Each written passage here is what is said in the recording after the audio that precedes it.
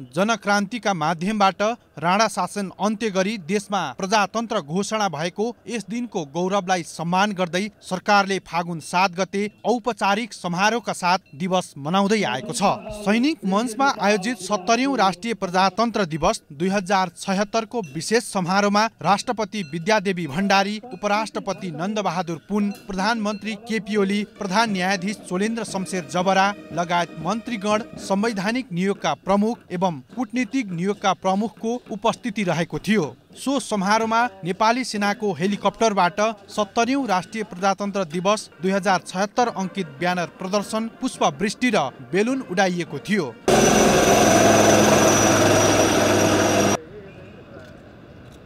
अब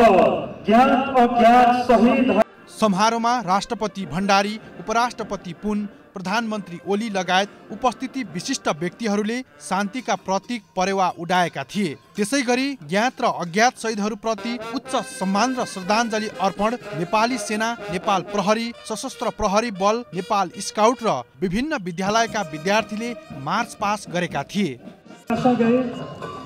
राष्ट्रिय खेलकुद परिषदका खेलाडीहरू राष्ट्रिय खेलकुद परिषदबाट विभिन्न खेल प्रदर्शन गरिनुका साथै काठमाडौँ महानगरपालिका ललितपुर उपमहानगरपालिका भक्तपुर नगरपालिकाले झाँकी प्रदर्शन गरेका थिए। काठमाडौँ महानगरपालिका काठमाडौँ महानगरपालिकाले